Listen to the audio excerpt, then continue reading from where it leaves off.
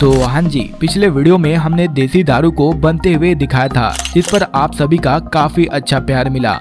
तो इसलिए मैंने सोचा कि आप सभी को विस्की के बारे में भी बताना चाहिए कि आखिर भारत में सबसे ज़्यादा बिकने वाली रॉयल स्टेक विस्की फैक्ट्री में कैसे बनाई जाती है।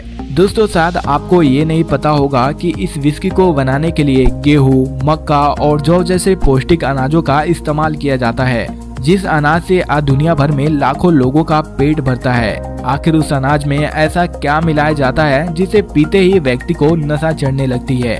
साथ ही साथ इसके वजह से लाखों लोगों की मौत हो जाती है। दोस्तों 1995 में स्टेब्लिश हुई इस विस्की का आज इंडिया में केवल चार ही मैन्युफैक्चरिंग प्लांट है, कोलकाता, मुंबई, दमन और गुड़गांव। दोस्तों, अगर बात हो रही है विस्की की तो चलिए इसके इतिहास के बारे में भी जान लेते हैं। कि आखिर इसकी उत्पत्ति सबसे पहले कहाँ हुई थी। दोस्तों, आपको बता दें, कुछ लोगों ने इसकी आविष्कार का श्रेय चाइनीज़ मोंको को दिया है, जो इन अनाजों को सड़ाकर इस लिक्विड को तैयार करते थे। लेकिन वे लोग इसका इस्तेमाल दवाओं के लिए करते थे, और जब यह लिक्विड स्कॉटलैंड पहुँचा तो वहाँ के लोग इसे नशे के रूप में इस्तेमाल करने लगे। तो आइए दोस्तों, आप सभी को लेकर चलते हैं विस्की बनाने वाले फैक्ट्री में और दिखाते हैं कि इन अनाजों की मदद से विस्की कैसे बनाई जाती है। दोस्तों, सबसे पहले खेतों से अनाजों को काट कर इकट्ठा कर लिया जाता है और फिर इन्हें ट्रकों की मदद से लोड करके विस्की बनाने वाले फैक्ट्री के अंदर लाया जाता है। और फिर यहीं से स्टार्ट होता है विस्की बनाने का पहला स्टेप सबसे पहले इन अनाजों को पानी में डालकर 12 घंटों के लिए ऐसे ही छोड़ दिया जाता है। फिर 12 घंटे बाद इन्हें ड्रेन करके एक बार फिर से 14 घंटे के लिए दूसरे पानी में रखा जाता है। करीब 14 घंटे बाद इन्हें पानी से बाहर निकाल कर सुखाया जाता है, जिसके लिए इन भीगे हुए अनाजों को एक कमरे के अंदर कुछ इस प्रकार फैलाकर कुछ दिनों के लिए ऐसे ही छोड़ दिया जाता है, ताकि अनाज जल्द से जल्द सूख जाए।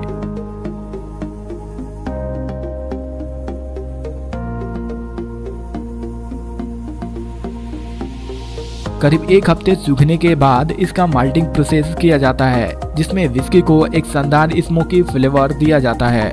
माल्टिंग प्रोसेस के लिए इन अनाजों में धुआँ लगाया जाता है। जिसके लिए सबसे पहले एक भट्टी में आग जलाया जाता है और फिर भट्टी से निकलने वाला धुआँ इन अनाजों में भेजा जाता है।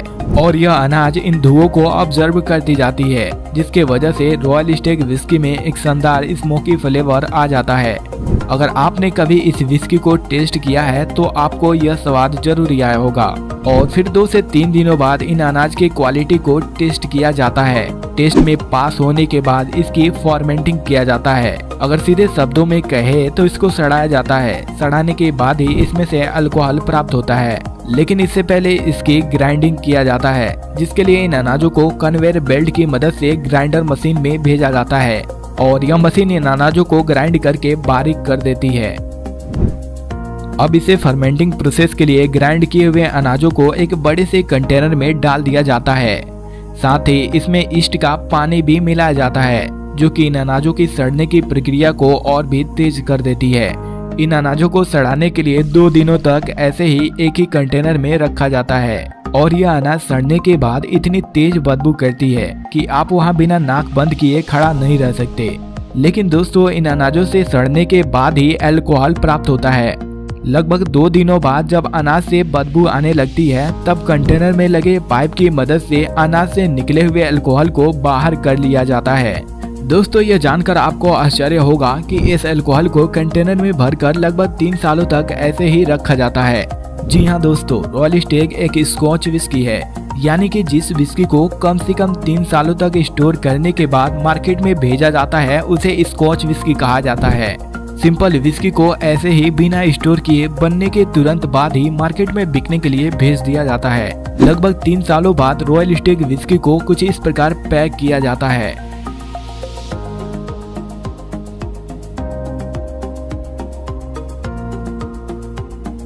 तो कुछ इस प्रकार हर एक बीमारी में काम आने वाली इस दवा को बनाया जाता है। दोस्तों, आपके यहाँ एक बोतल विस्की का प्राइस कितना है? कमेंट में ज़रूर बताएँ। ऐसे में जब दारू की बात हो रही है तो चलिए जान लेते हैं कि आखिर फैक्ट्री में सिगरेट को किस प्रकार बनाया जाता है। दोस्तों, आपको बता दें, दारू की तरह ही इसकी भी शुरुआत खेतों से ही किया जाता है। सबसे पहले खेतों में सिगरेट में भरे जाने वाले तंबाकू को तैयार किया जाता है, जिसके लिए तंबाकू के छोटे छोटे पौधे को नर्सरी में तैयार किया जाता है। और इसे नर्सरी में अच्छे से देखभाल भी किया जाता है। जब यह तंबाकू के पौधे थोड़े बड़े हो जाते हैं, तब इसे नर्सरी से लाकर खेतों में कुछ इस प्रकार लगा दिया जाता है।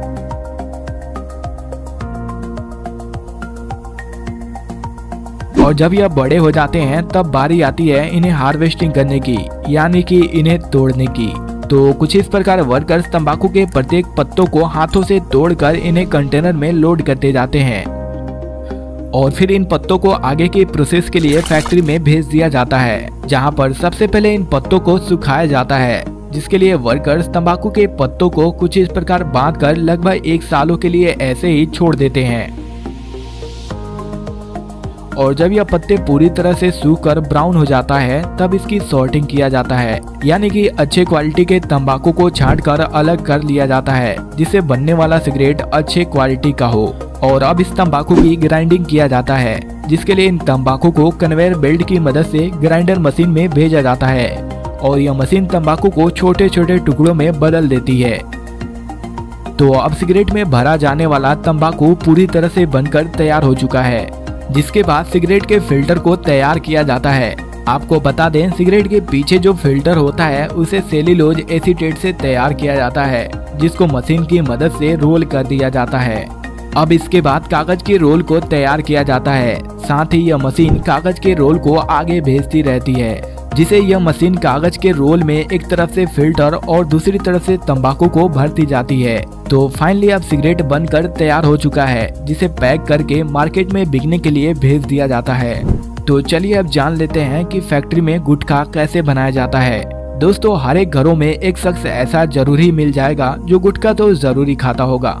आपको जानकर यह आश्चर्य होगा कि भारत में हर रोज 160 करोड़ रुपए का केवल गुटखा खाकर ही थूक दिया जाता है। तो गुटखा बनाने के लिए सबसे ज़रूरी होता है सुपारी का, जिसके पेड़ कुछ नारियल के पेड़ की तरह ही दिखते हैं और इन्हीं पेड़ों में सुपारी का फल भी लगता है। ये फल एक साथ गुच्छे में फलते हैं, जो कि बिल्कुल खजूर की तरह ही दिखते हैं। जब ये फल पककर पीले हो जाते हैं तो कुछ इस प्रकार इसकी हार्वेस्टिंग की जाती है।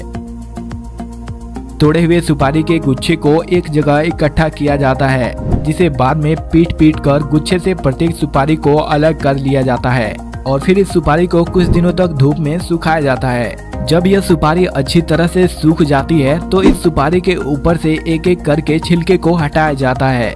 इस काम को काफ़ी सावधानी से किया जाता है, क्योंकि थोड़ी सी लापरवाही से भी हाथ कट सकती है और फिर इस सुपारी को भट्टी में डालकर कत्थे के साथ गर्म किया जाता है। साथ ही इस सुपारी में अलग अलग फ्लेवर और इसे ताज़ा बनाए रखने के लिए पैराफिन भी मिलाया जाता है। दोस्तों, ये वही पैराफिन है जिसका इस्तेमाल मोमबत्ती बनाने में भी किया जाता है। अब आप खुद ही सोचिए कि कंपनियाँ आपको क्या खिला रही हैं। वैसे इन कंपनियों में भी कोई गलती नहीं है, क्योंकि कंपनियाँ तो पहले ही बता देती हैं कि गुटके से कैंसर होता है। अब इसके बाद इसे भट्टी से निकालकर धूप में फैलाकर कुछ दिनों तक ऐसे ही सुखाया जाता है।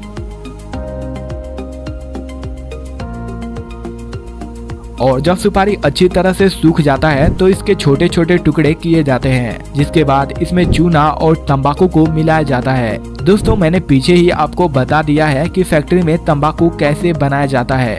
अब इसके बाद इस गुटके को अलग अलग पैकेट में भरकर पैक कर लिया जाता है और फिर इसे मार्केट में बिकने के लिए भेज दिया जाता है। दोस्तों, कमेंट में ज़रूर बताएँ कि आप डेली कितने पैकेट गुटखा, सिगरेट और कितने पैक दारू पी लेते हैं।